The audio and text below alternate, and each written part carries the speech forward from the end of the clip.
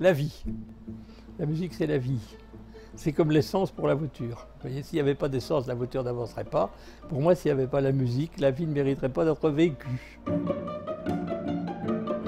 Alors, d'où vient la musique? Elle vient du cerveau. Ça, tout, tout vient du cerveau. On ne peut pas sortir de là.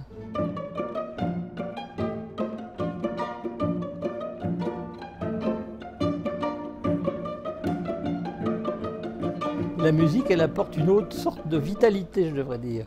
Une vitalité interne, une sorte de, dynamisme interne. C'est une richesse extraordinaire que nous avons en nous. C'est de, pouvoir imaginer, d'avoir un langage interne musical. Tous les cerveaux sont différents. Le cerveau est singulier. On a chacun un cerveau qui est différent de celui du voisin. Il n'y a pas de cerveau universel.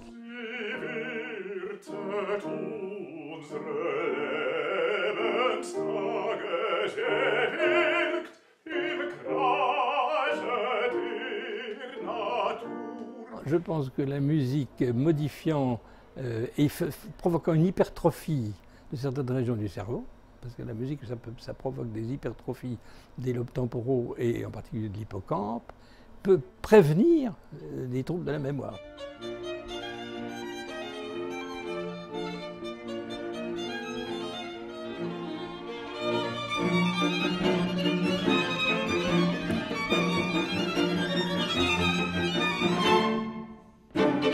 Je pense que la musique peut améliorer les maladies d'Alzheimer. Il y a des circuits qui sont différents du circuit du langage. Les aires qui captent la musique ne sont pas les mêmes aires que celles qui captent le langage. Ce n'est pas dans le même hémisphère cérébral. Hein, ça c'est très important parce que euh, ce qui est atteint surtout dans l'Alzheimer, c'est la région du langage. C'est ça, de la mémoire et du langage, qui sont assez peu atteints dans la musique. On ne peut pas appeler ça des mystères, c'est encore non élucidé.